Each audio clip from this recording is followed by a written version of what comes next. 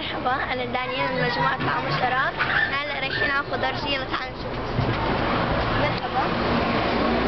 إيه، أنا دانيال قلبين من متحف التراب الإلكتروني. حابين نسألك كم من سؤال. إيه، أول سؤال إيه، راح نسألك إياه اللي هو إيش أنواع المخلفات تطلع من عندك من هنا؟ المخلفات بشكل عام بتعرف يعني هي خضرة. آه. يعني مثلا ممكن تسمع حبة بندوره يعني كل شيء لما يطلع فيه مم. يعني عفوا حتى على مستوى التفاح ممكن تفتح صندوق التفاح تلاقي فيه اثنين بطاطا آه. إيه هدول ال box إيه، وين بتروح فيهم؟ طبعا بالنسبة تعطيهم لل box طبعا إحنا مثلا نتفق مع ناس مزارعين مثلا بيجوا كل فترة مثلا كل خمس أيام 10 أيام okay مثلا قد إيه في عندي box بياخذوهم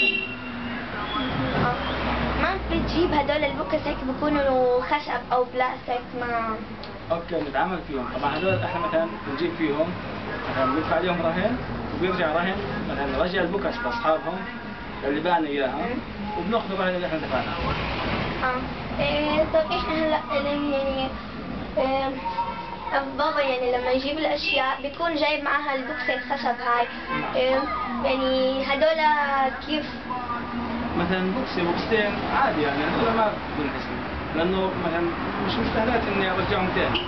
أما مثلا بكون 20 30 برجعوا طب هدول اللي زي ما أنت قلت يعني هيك حبة بندورة ضاربة حبة بطاطا هدول كلهم وين بتروح فيهم؟ مع بعض وعلى الزبالة ولا لا عفوا مثلا في اللي كويس بنباع اللي ضارب مثلا ضارب شيء بسيط بنباع بسعر أقل.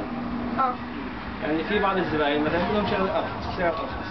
آه. آه مثلا بنبيع إحنا الكويس ب 60 بنبيع اللي مضروب ب 40 وفي مثلا لو إنه مثلا ما بتنفع هاي بتنكب.